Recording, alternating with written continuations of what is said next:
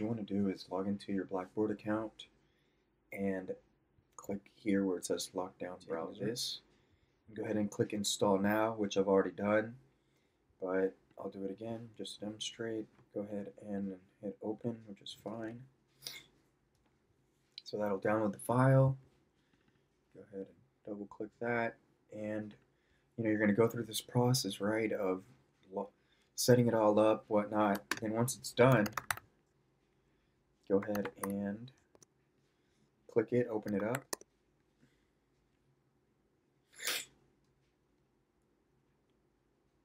So here's the most important thing. When you come here, you have to click UTA Blackboard Production and click Continue.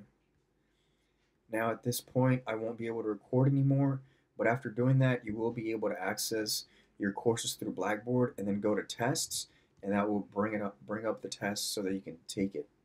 So hopefully this helps you guys.